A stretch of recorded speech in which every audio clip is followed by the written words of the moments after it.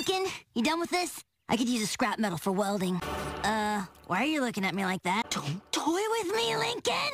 What is it? I'll do anything! Are you kidding me? Ugh. Do you know who you're talking to? Darn you, Lincoln! I am in! But wait, what if Lola finds out? You know what she's capable of. What is this weird sparkly towel? Ugh, it smells like princess fart. Handyman's code, Lincoln. Always be prepared. What? It helps me think.